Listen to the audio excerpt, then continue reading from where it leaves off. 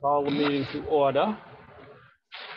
Our first piece of business is the minutes of the last meeting, October 20, which were sent out.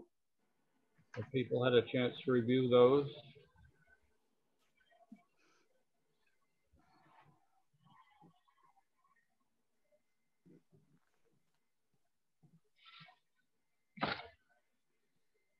Is there a motion to approve? Motion to approve. Second, Motion made and seconded. Anything to be said on the motion? Hearing nothing, I'll ask you to vote. Uh, Barry, aye. June, aye. Lane, aye. Aaron, aye. Unanimous vote, thank you. Um, Reports of progress on things. Um, The, um, the bullet house survey is uh, to be done by Tim by early in December, and, and uh, Margaret has been reminding him on occasion that that's the case. He was there yesterday, I believe. Yeah, oh, okay, good. So glad to hear that. Yeah. Time was running out. Yeah. No, he, he knows. That's good. Um, the HVAC uh, system is supposed to be put in on December 10th. We have that as a, a confirmation from Northborough Oil, and they expect to do it all that day, that one day. so that'll put us in shape there. Um, the concept of moving is, uh, I mean, June and I have been talking about it and plotting about some of it for some time, and we'll we'll start working on packing up some boxes of stuff. Um, we will need more boxes. We've got some stored up there, but we'll need more boxes. And we what we should do is handle them so that we move a, a bunch of things in the boxes and then bring the boxes back and put other stuff in them for a second move, uh, you know, an additional moving day, those sorts of things. Uh, because we should move it not in one slot, but in uh, three or four slots. Um, and of course, I have moved, I don't know, more than two dozen of those big diamond boxes already. Um, I started moving those a, couple, a month or more ago. And uh, so we've already started to put some things there. And I think some of the things that are going upstairs can go in there first because that won't affect the, uh, the work on the, on the system. The big thing is though that we're, it may be cold with the weather this week, it'll be cold in there. Um, and um, so I'm a little bit more concerned about the kinds of things we move in. We might not want to move the photographic stuff in uh, till after we've got the system working. Other than that, that's uh, that's about it on that front as far as I know. Well, it Um, sounds like, well, it sounds like a lot of people are willing to help. Yeah, I think we can, and an awful lot of it can be moved with cars and smaller things. The big thing is the is the shelving units and the file cabinets that we need either a trailer or a, or a, or a truck to move. And uh, hopefully we can get some help with that from some of the town departments and perhaps some others. Uh, Lions Club did some help with it the last time, so. With you the, know, with the co, a pickup or a trail, an open trailer, it'll work fine. Yeah, with the COVID, uh, uh, this question's for Margaret. Um, what are the limitations as far as number of people and how, how we're gonna do this? Yeah, you really shouldn't have more than 10 people at any time um, working on it. So I would suggest, you know, creating schedules. Everyone obviously is going to have to be in a mask at all times. Um, so that's where we're at at the moment as far as the state orders. When we moved the last time, I don't think we had more than six people at a time. Here you go. And that works out pretty well. Uh, you need a couple of pairs of people that can really lug things and some other people that supervise it on either end. And um, I can't imagine that we'd have more than six or eight people there at one time. Mhm. It just gets too confused and, and messy if you, if you have more. Um, and it might, and it would likely be some different people, different times, so that we spread it out that way. Um, okay. Uh, I circulated a draft uh, uh, collection policy last night. I sent it out. I, if you've had a chance to look at it, we can chat about it some. I don't consider it quite done. I'm sure there's something more we need to add to it, and that's part of why we're talking about it now, is to see what uh, what we might, what other people are noting and thinking of that we should add to it. Well, I just found it this morning at nine o'clock when I was turning on my computer. So um, that doesn't give us a lot of time to digest what you've said.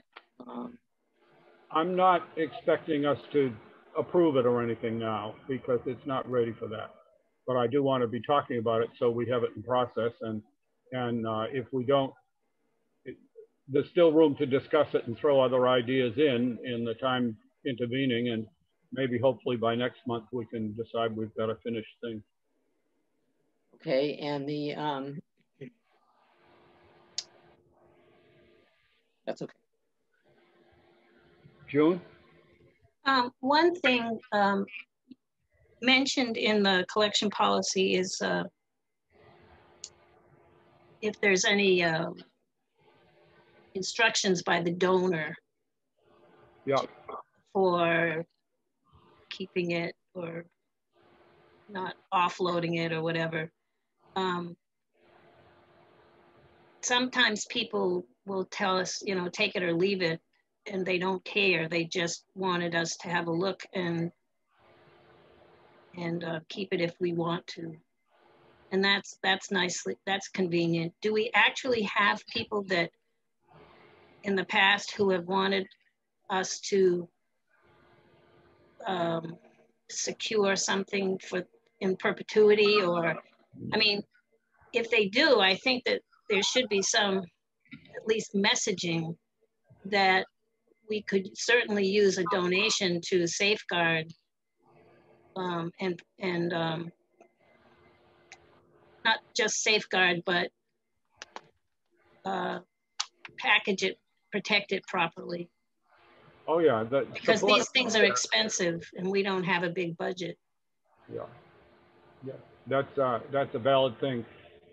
I haven't written it in there, but, um, it probably should be in there that, you know, we want unrestricted donations. Um, because, uh, you need the, you never know where you're gonna be in 20 years or 50 years.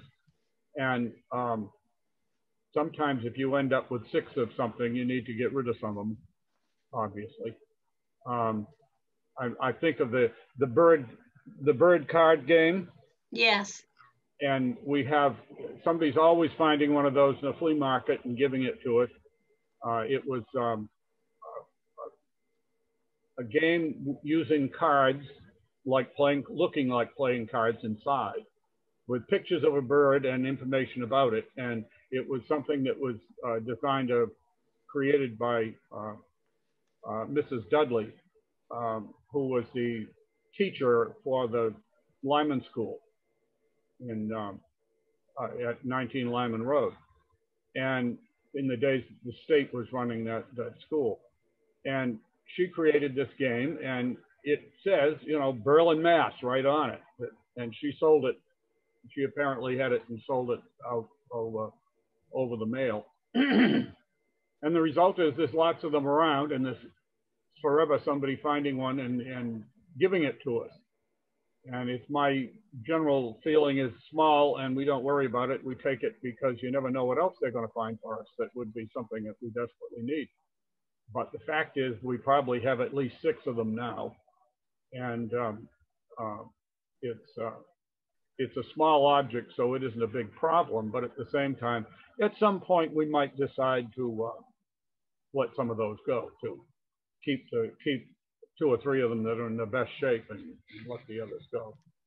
Um, so there are things like that that pop up that we get multiples of. And at some point, it would be necessary to make a, a, a, great, a further decision on it. And then you have other things like uh, coming out of the stuff in Memorial Hall, we have two German soldiers' helmets made of leather which were brought home as uh, war trophies by Berlin servicemen. And we're in the collection of stuff and material, uh, uh, military stuff in the in the uh, Memorial Hall. And so they've been in the town's hands since sometime right after World War One, probably. And uh, at the same time, they're they're German. They're not American. They're not, you know, the only connection is it's something somebody local brought home. And I don't know. That's one of those things that one can make value judgments on. They don't take up an awful lot of space. It's one box, but um, it's one of those things that from time to time we've looked at and wondered just how how much it's uh, it's really germane to our uh, situation. But at the same time, I think they're I don't know. It's part of the story of World War One, and almost always uh, soldiers come home with military equipment and things from the uh, from the other uh, from the opposing side. So it's uh, it's kind of interesting, and and yet you wonder about it. Uh, how much of that sort of thing do we have from from any of the wars? how much of that stuff do we have? Not a lot, not a lot. Uh, we've got one uh, Japanese rifle from World War II, which was bought by Bill Sherman and brought home from from uh, I guess from Japan. He um, he bought it, uh, and as is typical with things like that, the Japanese uh, filed the chrysanthemum that was on on it off before it was put up and allowed for sale, especially to the to enemy soldiers. Uh, and so um, it, it's it's that that is filed off it in as an ID and makes it somewhat less valuable as an artifact financially. But at the same time, it's this it's the same kind of thing. It's something of enemy equipment that was brought home as a personal trophy uh, from the war by a local guy. Uh, we don't have a lot of that kind of. Oh, no, we don't. Not enough. The, not enough to make an exhibit of what the soldiers brought home? Well, you could you could include with it some of their own equipment items that they would have brought home. I mean, the, the gas mask and the and the uh, uh, personal equipment items that you know, personal care. What am I thinking about? Toilet kits and things like that that are part of the things that the soldiers would not turn in, but rather bring home be expected to bring home because the government doesn't want used ones really. Um, so there's a, I mean, there's a lot of small items like that that you could put them in an exhibit with and, um, and show that way. that would be, actually, we haven't done that. Um, we could use some of the same things we used in other exhibits, but put some of those in for Memorial Day sometime. It would be kind of interesting, things that people brought home.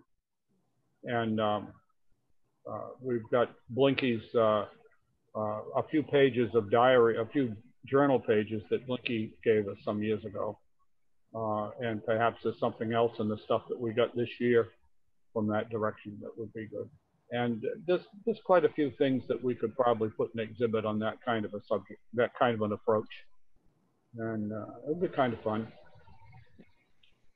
Um, uh, the um, building permit business.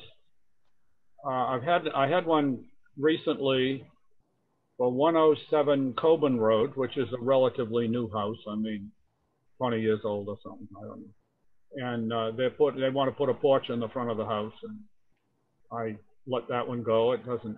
I, the house isn't old enough to come under demolition delay anyway, and so forth. So uh, that was one I let go.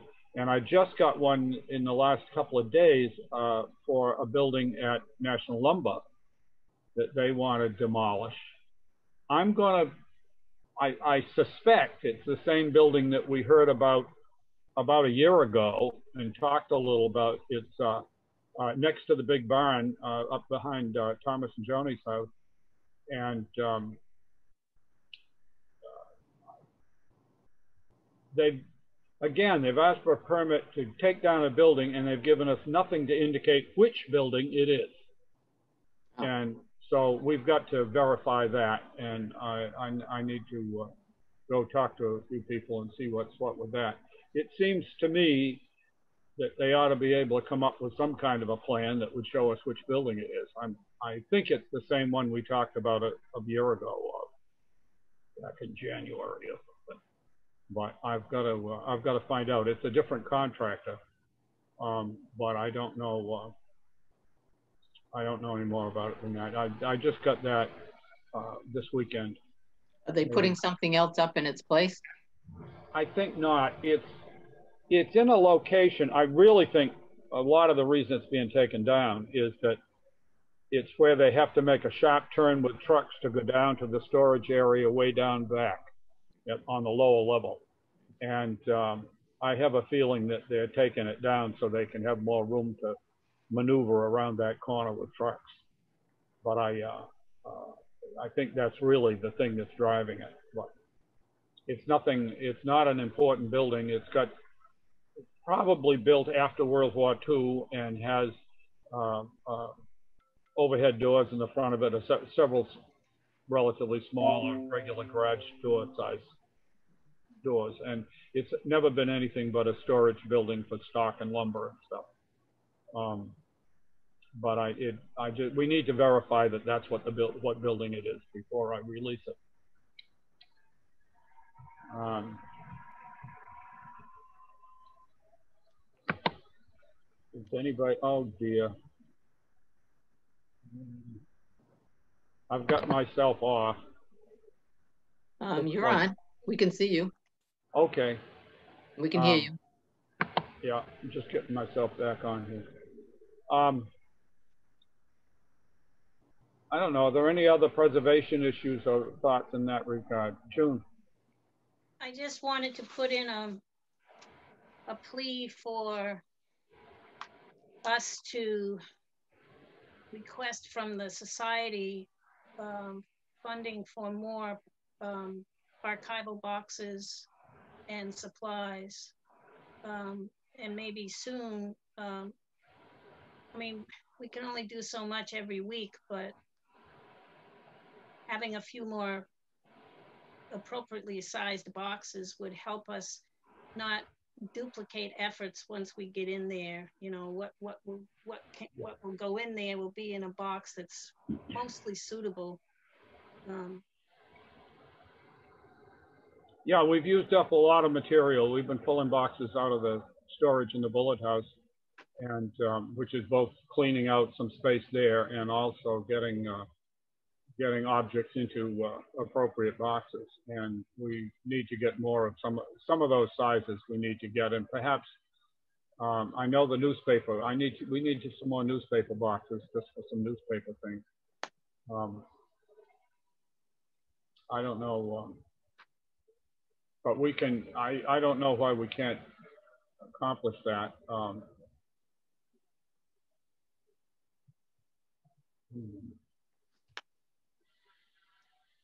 the the board of board of directors can vote up to twenty two hundred and fifty dollars, so they can uh, we can get an order out in that amount to get started with some of that stuff. But we also don't want too much of it right this minute when we're about to move either. yeah, we just Be to. need to It have might be better to buy them after we after we've got the move pretty well done, so that we can.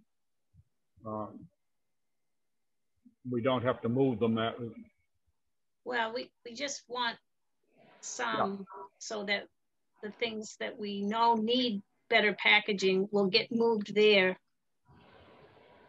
with, with the appropriate boxes, not to have a, a, a whole bunch that we have to move in addition. Yeah. Uh, I was thinking there, of the artwork. Uh, we should talk about what sizes, what things we want to get. I know one size that we want. Um, and also check with Edith about that and see what else she's got in her head about uh, that kind of stuff. Okay, The other thing, of course, is the various sleeves and things. We've been using them up lickety split. Uh, uh, these are the plastic sleeves that you put a photograph in or a newspaper printed article or whatever uh, to protect it when it goes in the file. And we've been using that material up and we need to acquire some more of that too. Um, are there other things that relate to that? another thing that has come up is the, uh, the Community Preservation Act. Um, Elaine, I assume you saw the notice and heard about that. Are you willing to continue on that committee? I was just talking about that with Margaret um, when I first got on. That um, it looks it looks like it's not going to take that much of my time, and I will be able to do it full time. So, did you want to make that official? Is there a motion to appoint Elaine to the Community Preservation Act Committee? June, I move that we appoint um, Elaine Wickstrom to serve as our representative on the CPA committee for the town. second. Second. Anything to be said on the motion? Uh, and I'll call for the vote. Agar, aye. June, I. Karen, I. Do I Elaine vote? is going to prefer not to vote or? Right, I'll abstain.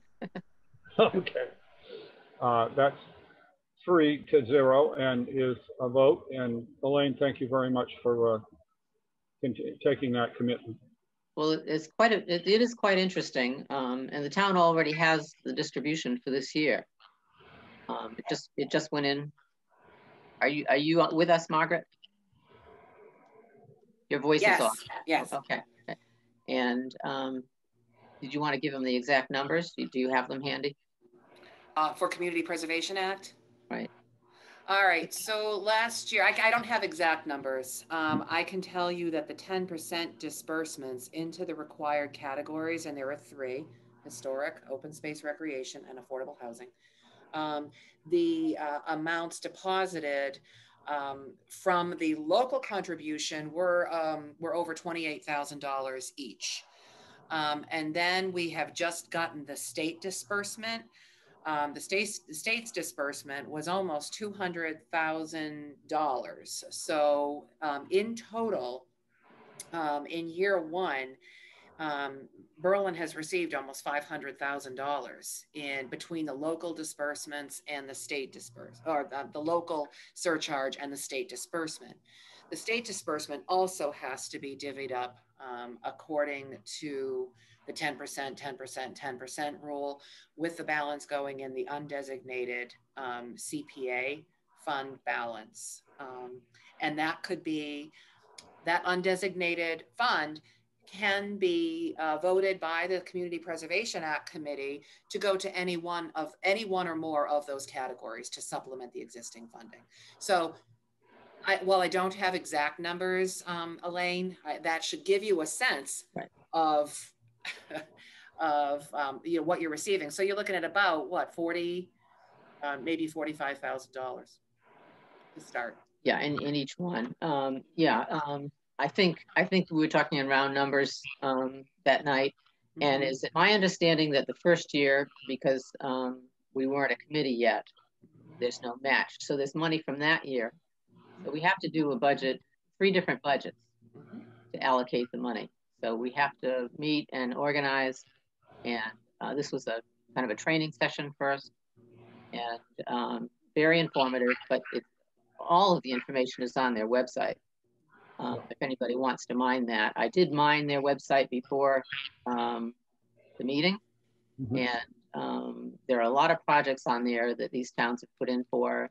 It's some of the towns have been at it for a long time, and uh, some of them are just coming on board.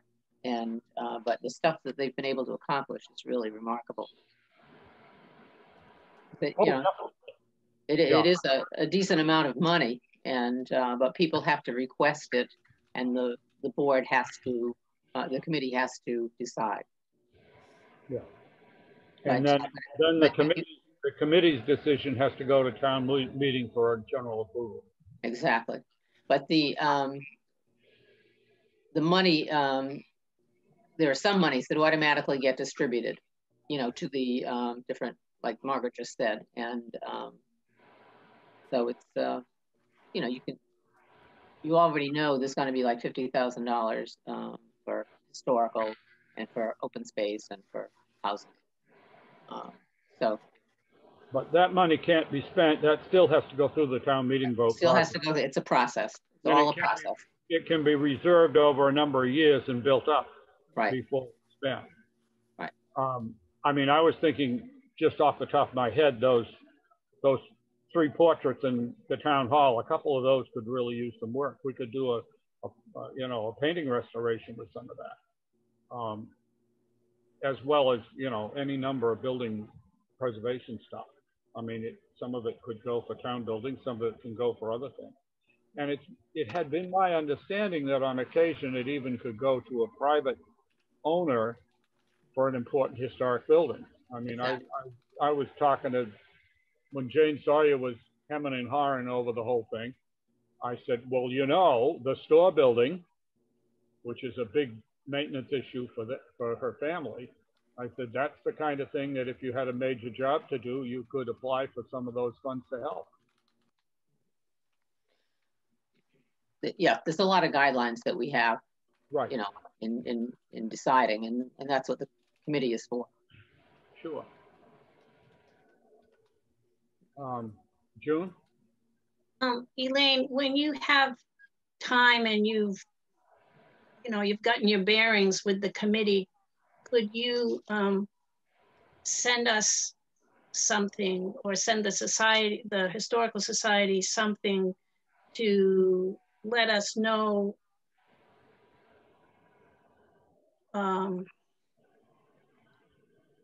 what the guidelines offer to make us uh, make the society a good a good candidate for um, asking for funds. Right. The, um, do we, I, I didn't check the town's website. Do we have, um, any kind of a, a blurb on the town's website, Margaret, about the committee? That's being formed? Uh, no, not yet. No, Okay, not yet.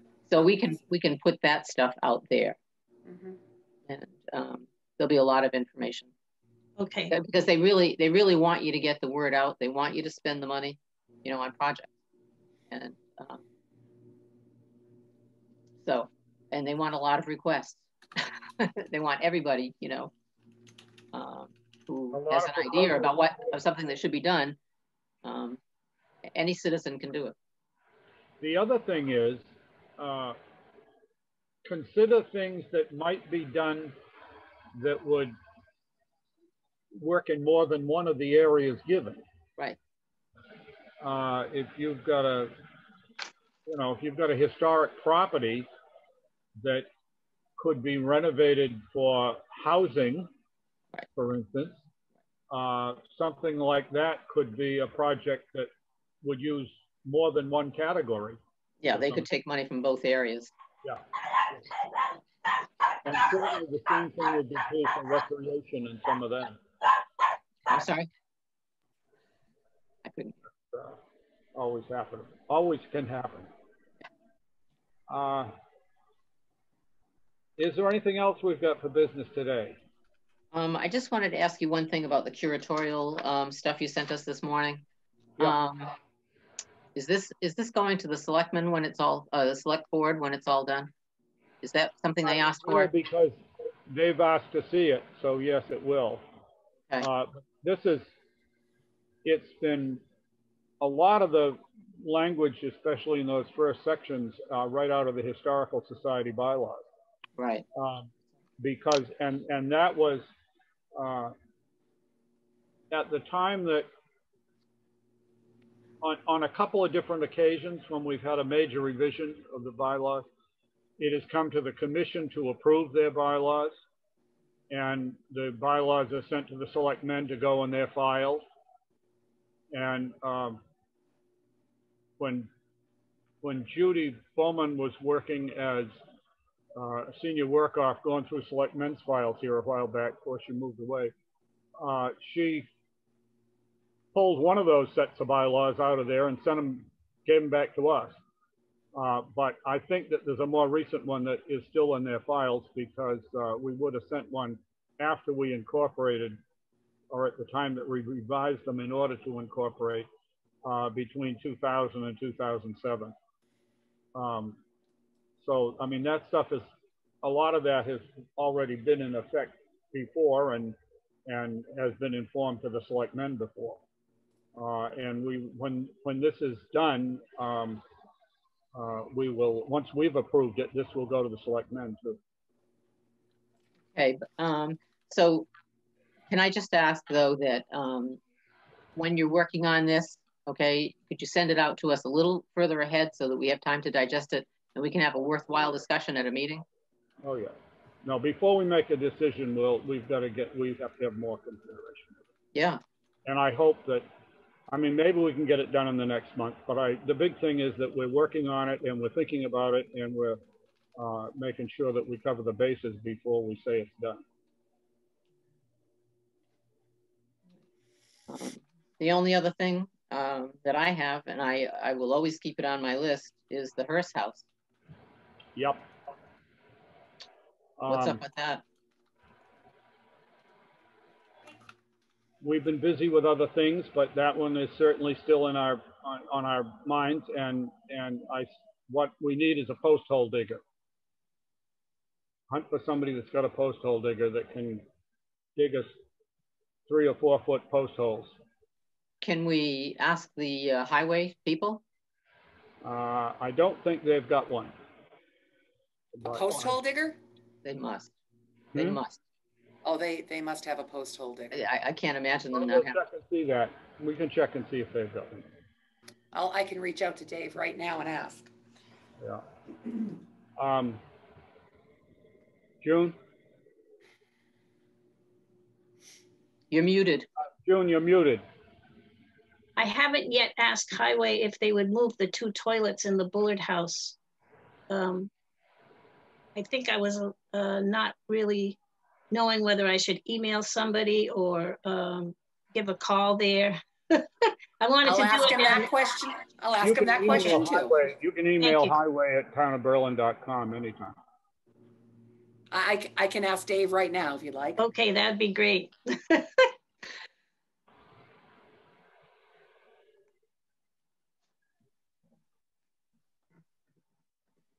Is there anything else to come before us today? Is, is there anything else in the works besides, I mean, what are you doing about the building itself? About the Hearst House building it- itself? You're gonna dig the post holes and then what's next? I mean, what are the steps? Oh, well, the post holes is, is so we can put concrete in them and, and put stones on the top to set the building on.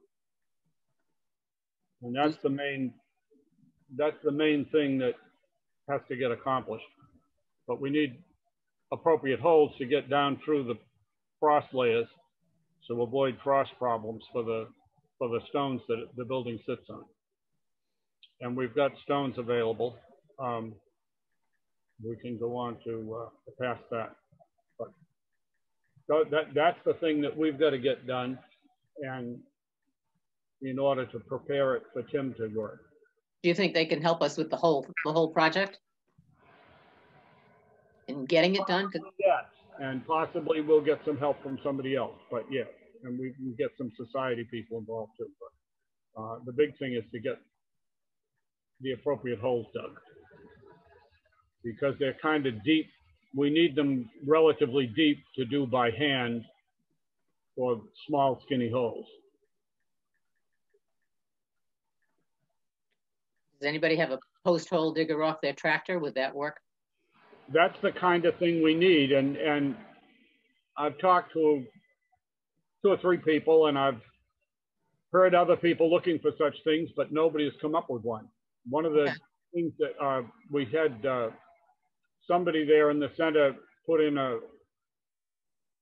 request on Berlin Neighbors Connect for somebody have a post hole digger that could dig some holes for me. And so I contacted that person a couple of weeks later and said, how'd you do with that? And they said they didn't get any reply. I said, great. I was hoping that would give me a line on somebody to, to, to do it with, but, uh, I, I would think the highway must have, I mean, they, because they set posts, you know, at intersections and. Yeah. I don't think they're doing that by hand. well, we have that request being processed, so we'll see how, we'll see what we come up with there. Okay. Just as long as we keep moving on it. Yeah, is there something else? If not, I figured this would be short today because we've got those two big projects that are hopefully in the oven and, and uh, we're waiting for them to get baked. So when we, by next month, we'll have more on that and we'll also be into the moving. Uh, June? What- You're- Yes, you're muted you're again. muted again. You're muted. Okay, at the beginning of the meeting, um, someone mentioned that Tim had already visited the Bullard House. Did he have a key or just, Yes, Yeah. we gave him the key when he came. yeah. The only thing he didn't have was access to a bathroom. And, uh, yeah, I thought the town hall was open, but it's not evidently. So, um, we, he stopped by. I told him, you know, he could ask Dave probably to get a key, you know, for that. I don't know what's going on. I went to the town hall. I saw lights on in the middle of the night, uh, late at night, and I went in to shut them off and I couldn't go in because they've apparently changed the locks. So. Mhm. Margaret, do you know anything about they're changing the locks at the town hall? Yes, the 1870 town hall manager changed the locks at the town hall because there was um, a lot of unauthorized access going on at the town hall. And due to COVID, they wanted to manage that. So am I going to be able to get a key again for our use for the, Um, I will ask Dave that question too, as our facilities manager. I'll ask if we can get you a key that would be strictly no copies to be made. Okay, Yeah. I will ask that question. Yeah, that's 'cause I- We, fine. we told Tim to stop by the highway barn in the morning, you know, if he was coming back today. Um, to get a key for that, so Okay. I haven't heard any complaints.